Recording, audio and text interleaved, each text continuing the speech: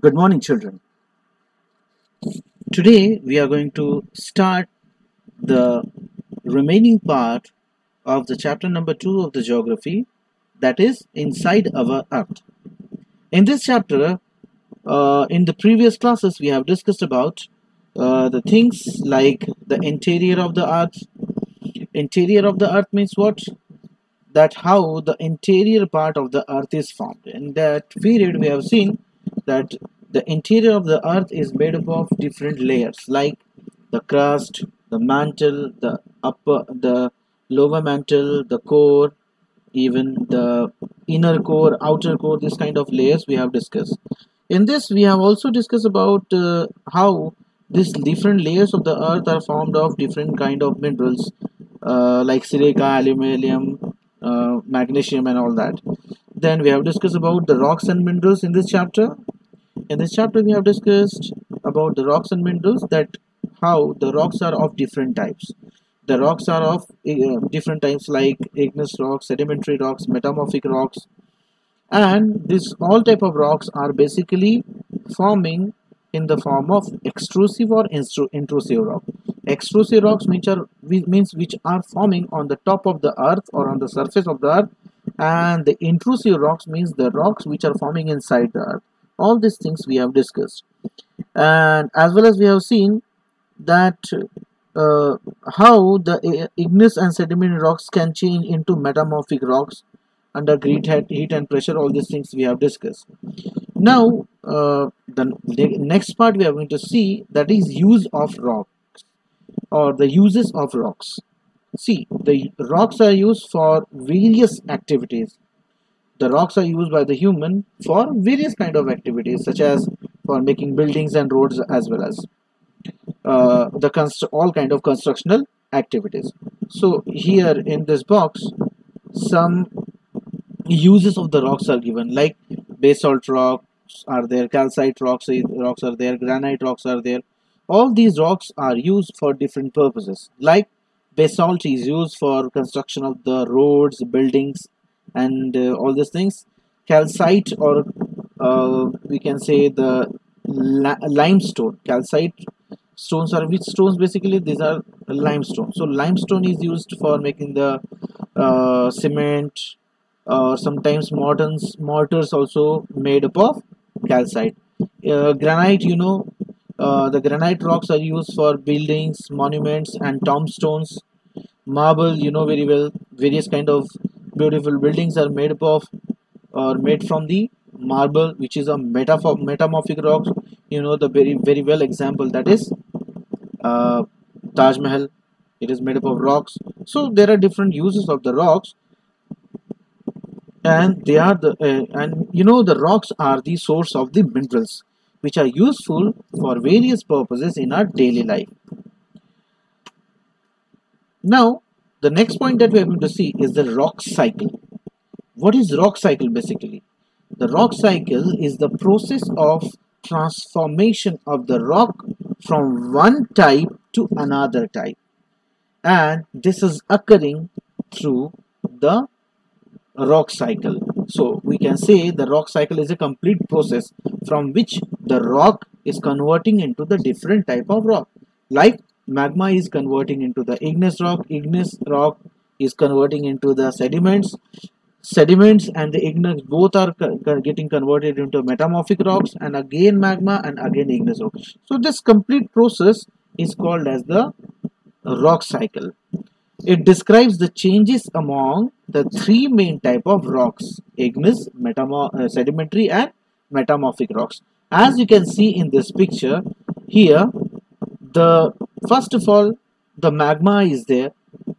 The magma when it erupts onto the top of the earth or when the magma is getting uh, solidify into the inside the earth then the igneous rocks are forming.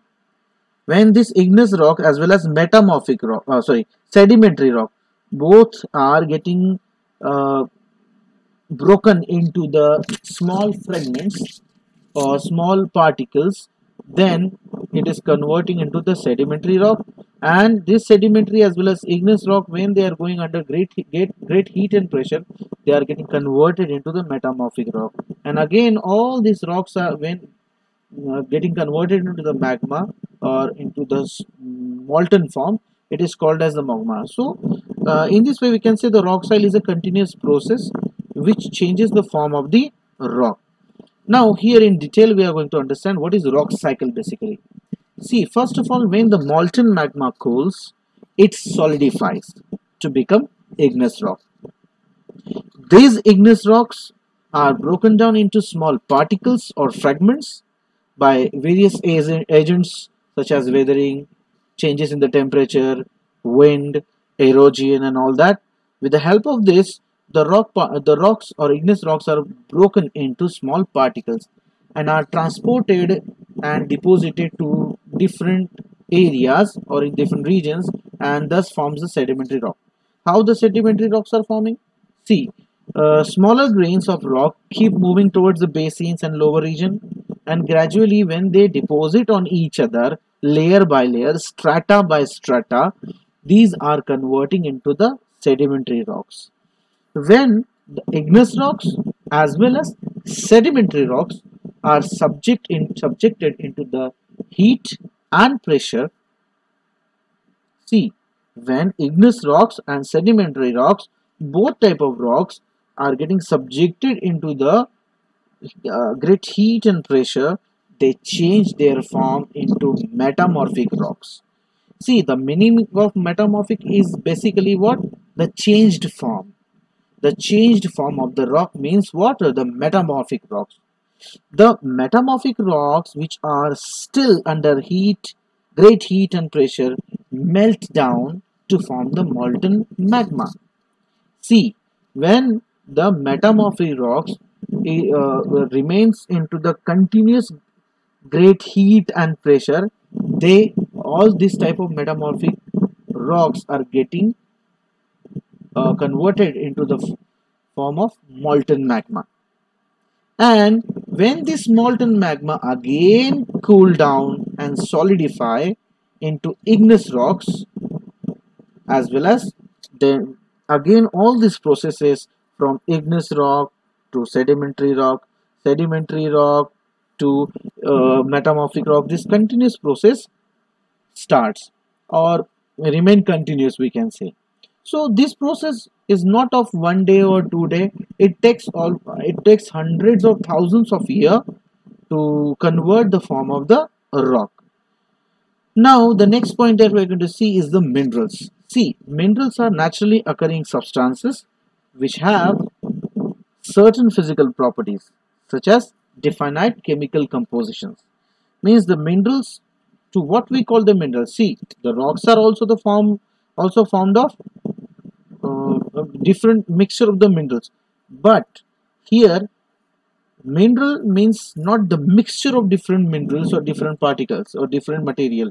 It is a definite chemical composition. For example if you will take diamond.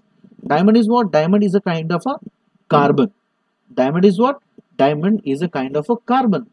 So uh, the carbon is what? It is a definite chemical chemical composition. So in this way we can say the the minerals are having some certain physical properties as well as definite chemical compositions. Uh, and all these minerals are very uh, important for the humans. Uh, like uh, coal natural gas petroleum these are all the type of minerals. You know very well the coal is important for the heat and energy. Natural gases are important for cooking as well as for uh, various use uses in the industries. Petroleum is useful for making the plastic petrol petroleum products and all that like diesel and petrol oil. So they are also used in industries also. How they are used? For example iron is there aluminium is there gold uranium etc these are all used in the industries. Even some minerals are used in the medicinal forms also like uh, some some minerals are used for making the minerals some uh, sorry for, for making the medicines. Some minerals are used for making the fertilizers. You would have heard of the nitrogen phosphorus and potash. These are the important fertilizers used in nowadays in the agricultural areas.